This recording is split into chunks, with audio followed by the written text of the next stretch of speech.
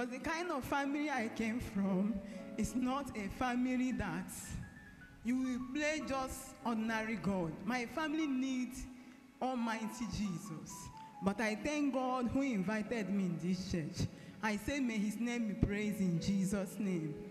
And I'm thanking this wonderful, I used to call him the ultimate God, the wonders working Jesus, who encountered me last week, Sunday. Daddy called, there is someone that be having toothache. She looked at me, said, Can you have toothache? Can't you see how you are? She didn't, he didn't know that I'm feeling pains. This started 2015 when I lost my father. I don't know it's because I cried when I lost my father. He is my love, but he's gone. After that, I developed toothache that have cost me a lot of money. I have drink a lot of medicine because of this toothache. My elder sister have brought a lot of medicine because of this toothache.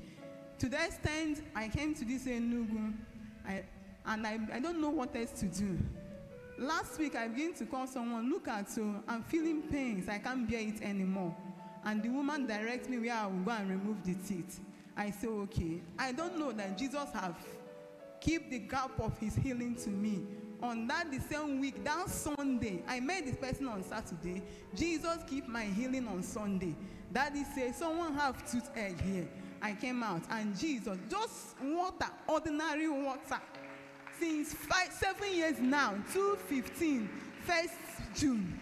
Jesus, because of water, ordinary water that I've been drinking before, oh, Jesus used water to drink to heal me on Sunday. That, that is not ordinary water. It's anointed water. That was this last Sunday. Yes. I remember that was second service, right? Yes. I was ministering and I paused. I said, Somebody is having toothache. And many of them came out. I said to Tochku Basil, if he has anointing, he should pray and the healing will come. And if the healing didn't come, I will remove the anointing of pastor from him. Thank God that his testimony. He's still a pastor in Jesus' name. Can you celebrate Jesus? After seven years, Yes, sir. seven First- years, 7th June 220, uh, 215. 215, it started. Yes. And God took it just last Sunday. Yes, sir. Let's celebrate that, Jesus. I'm also, I'm thanking the goodness of God. I remember 220. Daddy mentioned a case, says there is a family here God will encounter. It's my family. Starting from that day, the funniest thing over there is my brother that cannot able to afford money is now in scandal.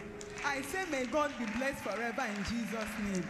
And all his good work in my family, the same water Jesus healed my mother from stomach upset, being ulcer. The same that water from this church. I say may God be praised.